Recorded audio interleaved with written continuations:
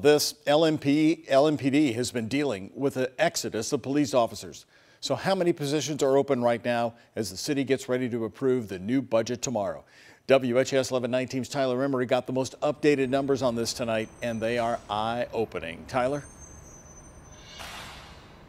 Right, Doug, and this all comes just ahead of a big day tomorrow where Metro Council will be voting on a budget with a heavy focus on public safety as the city is seeing an unprecedented level of homicides right now. LMPD is telling me here that it's short 241 officers, putting in a position where it's struggling to keep up with the gun violence.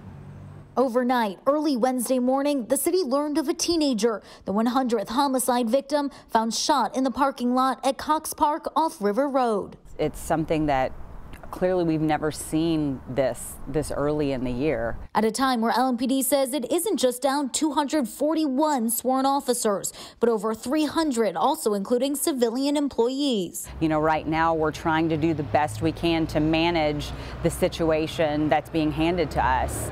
Um, we need help. We need more people. With the number of shootings the city is seeing, LMPD spokesperson Officer Beth Ruoff says it's straining the department's homicide unit. It's very taxing and, and it's tough on, on those detectives because they are really working hard to solve these cases. In a recent LMPD podcast episode, Lieutenant Donnie Burbrink says the unit is only clearing about one third of all homicide cases it has to investigate. Last year, I lose people, we gain cases. Each one of my detectives had between 8 to 10 cases last year. This year, up to about 15, compared to the four or five cases a year homicide detectives used to have, he says, calling it a nonstop cycle. I've had to weigh do we put more cops in homicide or do we put more cops in the street to get the guns off the street that are causing the homicides?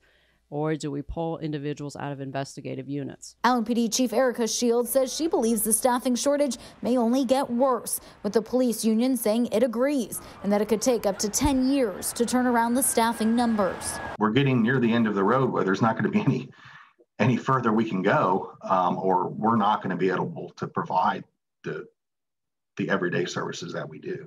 FOP spokesperson Dave Mutchler also says LMPD officers need higher salaries before the department will even be able to recruit. LMPD's current recruit class only has 15 compared to the usual 48.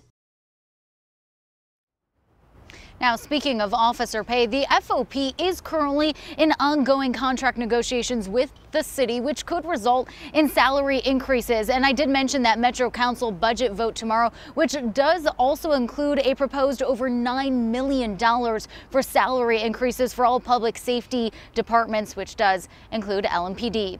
I'm live tonight at LMPD for the night team. I'm Tyler Emery.